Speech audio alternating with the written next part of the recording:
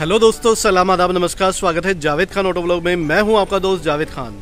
दोस्तों, इस चैनल पे मिलती है आपको ढेर सारी इन्फॉर्मेशन ऑटोमोबाइल से जुड़ी हुई। साथ में मिलते हैं आपको नई कार के वो क्राउंड वीडियो तो दोस्तों, वही लेके आपके सामने हाजिर है और आज हम कंपैरिजन वीडियो लेके हाजिर हैं आपके सामने नई अर्टिका वर्सेज ऑल अर्टिका यानी कि जो नई अर्टिका है, उसमें कितने सारे चेंजेस किए गए हैं और वैल्यू फॉर मनी वो गाड़ी है भी या नहीं भी। तो दोस्तों, पूरा डिटेल से जानते हैं अर्टिका के बारे में कि क्या क्या चेंजेस इस कार के अंदर किए गए हैं और जो प्राइस इसका बढ़ाया गया है, जितनी महँगी गाड़ी हुई है, उतनी वर्थ बनती भी है या नहीं बनती है। तो चलिए दोस्तों, करते हैं वीडियो की शुरुआत। वीडियो शुरू करने से पहले आपको बताना चाहेंगे ये अर्टिका के दोनों मिड मॉडल है अर्टिका वी मेरे लेफ़्ट हैंड पे पुराना वर्जन खड़ा हुआ है राइट हैंड पे ग्रे कलर में मेरे पास नया वर्जन खड़ा हुआ है। तो दोस्तों, पूरा डिटेल से जानते हैं इस गाड़ी के बारे में। रिक्वेस्ट करना चाहूँगा आपसे पहले तो आप चैनल पे अगर पहली बार विज़िट करें तो प्लीज़ चैनल को लाइक करें, थोड़ा सा सपोर्ट करें, अपना ढेर सारा प्यार हमें दिखाएँ। सब्सक्राइब बटन को ज़रूर दबाइएगा। तो दोस्तों, सबसे पहले शुरुआत करते हैं ओल्ड अर्टिका के साथ में।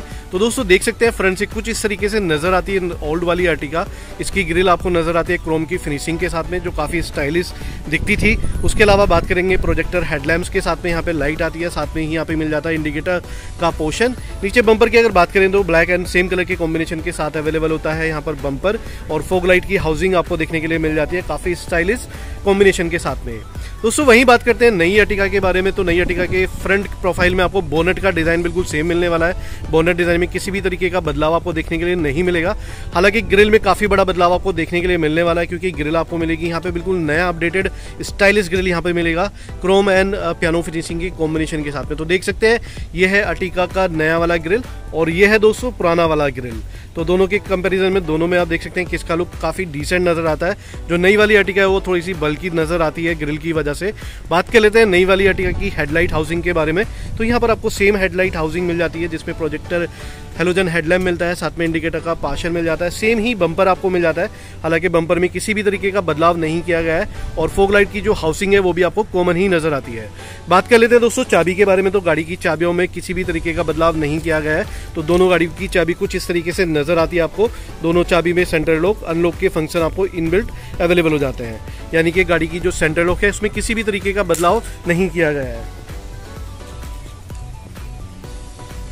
चलिए दोस्तों, बात करते हैं गाड़ी के रियर प्रोफ़ाइल के बारे में। तो रियर प्रोफ़ाइल में भी कुछ चेंजेस किए गए हैं। तो रियर से किस तरीके से नज़र आती है नई अटिका वो दिखाते हैं आपको, नई और पुरानी। तो दोस्तों, देख सकते हैं, ये है रियर प्रोफ़ाइल दोनों गाड़ियों का। तो रियर प्रोफ़ाइल से आप देख सकते हैं अर्टिका का जो ओल्ड वर्जन है, वो कुछ इस शेप में आपको नज़र आता था। हाई स्टॉप माउंट ऊपर की तरफ़ आपको मिलता था। ग्लास नॉर्मल आपको मिल जाता था। बूट की अगर बात करें तो देख सकते हैं बूट स्टाइलिश आपको मिलता था यहाँ पर भी। और हेडलाइट रियल लाइट की जो कॉम्बिनेशन है, वो आपको इस तरीके से नज़र आती थी अर्टिका में। नीचे अर्टिका की बैजिंग आपको नज़र आ जाती थी। उसके अलावा देख सकते हैं पीछे आपको फोर आइस पार्किंग सेंसर का ऑप्शन मिल जाता था। दो रिफ्लेक्टर नज़र आते थे आपको पुराने वर्जन के अंदर। हालाँकि बूट पे यहाँ पे क्रोम का कोई फिनिशिंग देखने के लिए नहीं मिलता था पहले।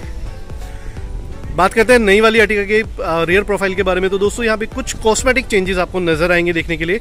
यानी कि जो नई तो दोस्तों, देख सकते हैं, यह है रियर प्रोफ़ाइल अर्टिका के नए वाले वर्जन का। तो काफ़ी सारे चेंजेस आपको यहाँ पे देखने के लिए बहुत ज़्यादा वाले तो नहीं मिलने वाले हैं। सिर्फ़ जो इसकी बूट गेट है, उसको थोड़ा सा कॉस्मेटिक चेंज आप देख सकते हैं। यहाँ पे एक हल्का सा कर्वनेस दिया गया है।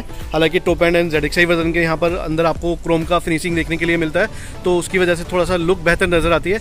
बाकी उसके अलावा रियल लाइट्स की अगर बात करें तो दोस्तों रियल लाइट में किसी भी तरीके का बदलाव आपको देखने के लिए नहीं मिलने वाला है। आपको दोनों कार के अंदर सेम रियल लाइट्स आपको मिलेंगी।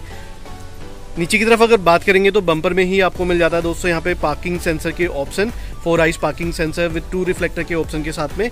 उसके अलावा रियल लाइट्स में आपको दिखाता हूँ, देख सकते हैं आपको किसी भी तरीके का कोई बदलाव आपको रियल लाइट में नहीं मिलता है दोस्तों। चलिए दोस्तों, बात कर लेते हैं गाड़ी के साइड प्रोफ़ाइल के बारे में। तो साइड प्रोफ़ाइल में किसी भी तरीके का कोई भी कॉस्मेटिक चेंज नहीं किया गया है। हालाँकि टायर साइज़ वगैरह में किसी भी तरीके का बदलाव अभी नहीं किया गया है इस कार के अंदर, जो आपको जेड में बदलाव मिलता है या आपको जेड एक्स प्लस में बदलाव मिलता है। वो सिर्फ़ एक माइनर सा बदलाव मिलता है। उसके अंदर आपको क्रोम के डोर हैंडल और रिक्वेस्ट सेंसर बटन मिलते हैं देखने के लिए। बाकी बात कर लेते हैं दोस्तों इंटीरियर के बारे में तो इंटीरियर कुछ इस तरीके से नज़र आता है आपको ड्राइवर साइड से। देख सकते हैं दोस्तों, ये है रियर इंटीरियर का प्रोफ़ाइल आपका नए ओल्ड नए वाले वर्जन का। तो देख सकते हैं यहाँ पे कुछ चेंजेस आपको देखने के लिए नहीं मिलने वाले हालाँकि जो आपको रियर प्रोफ़ाइल है, उसमें भी थोड़ा सा बदलाव मिलेगा। वो मैं आपको दिखा दूँगा किस तरीके का बदलाव मिलेगा। तो देख सकते हैं दोस्तों, जो रियर इंटीरियर का प्रोफ़ाइल है, वो बिल्कुल आपको कॉमन ही नज़र आता है। जैसा पहले था, वैसा ही नज़र आएगा। साइड प्रोफ़ाइल से मैं दिखा भी देता हूँ आपको, जो ओल्ड वाला वर्जन है, उसका रियर इंटीरियर का प्रोफ़ाइल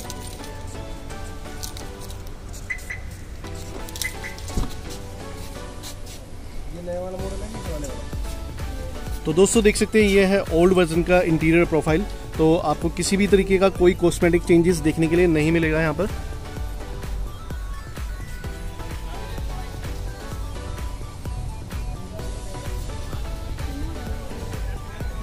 चलिए बात करते हैं दोस्तों रियर प्रोफ़ाइल की। तो ये वाला है रियर प्रोफ़ाइल केबन आपका नई वाली अर्टिका के बारे में।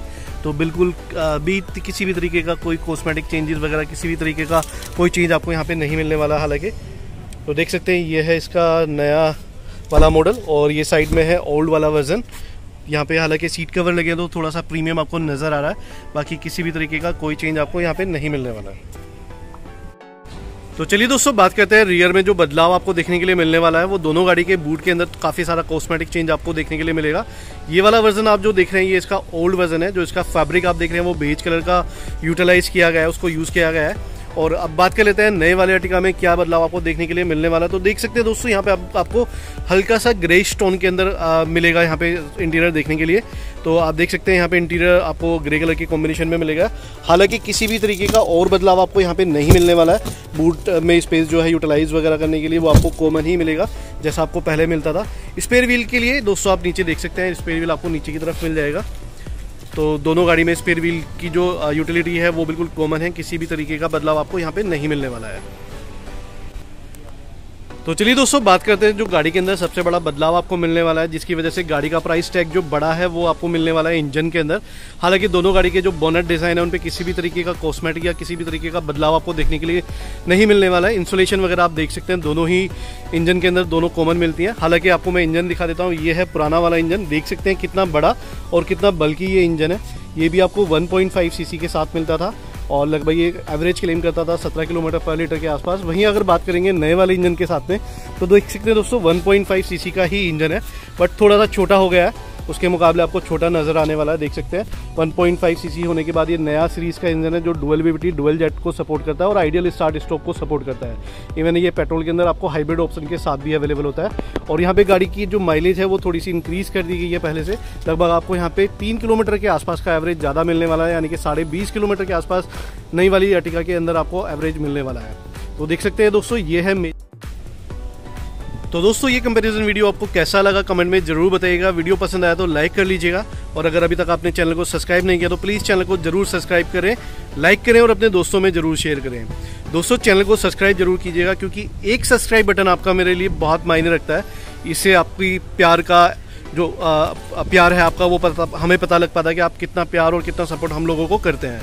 तो दोस्तों, चलिए वीडियो को करते हैं ख़त्म। वीडियो को ख़त्म करने से पहले एक रिक्वेस्ट करना चाहूँगा। घर के बाहर अगर निकल रहे हैं तो प्लीज़ मास्क को ज़रूर पहने और जो भी गवर्नमेंट की कोविड के लिए गाइडलाइंस हैं, उनको ज़रूर फॉलो करें। अपना और अपने परिवार का बहुत ज़्यादा ख्याल रखें। जल्दी मिलते हैं दोस्तों, नए अपडेट वीडियो के साथ में। तब तक के लिए जय हिंद दोस्तों।